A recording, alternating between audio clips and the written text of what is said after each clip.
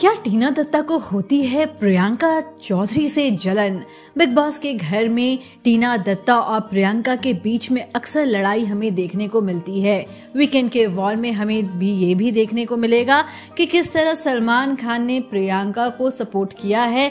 तो जल उठी हैं टीना दत्ता। जी हाँ शिव और अर्चना की लड़ाई के मुद्दे पर सलमान खान ने जहाँ टीना दत्ता को फटकार लगाई है तो वहीं प्रियंका चौधरी की जमकर तारीफ़ की है, शो के होस्ट सलमान खान ने। ये देखकर जल उठी हैं टीना दत्ता।